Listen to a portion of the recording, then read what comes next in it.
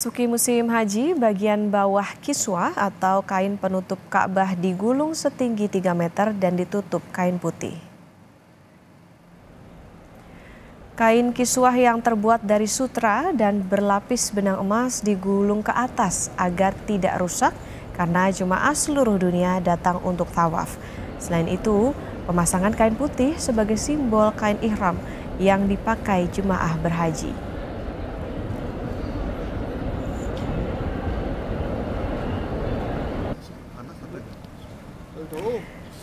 Calon haji tertua berusia 110 tahun, Mbah Harjo Mislan, tiba di Mekah, Arab Saudi.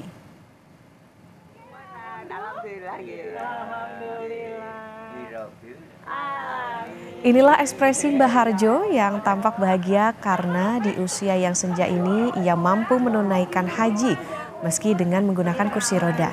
Di usia yang senja, dirinya juga masih memiliki penglihatan dan pendengaran yang masih baik.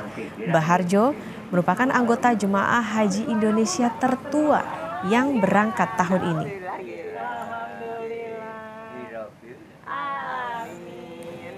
Jiwane wong-wong ne maksudnya wonten negara to.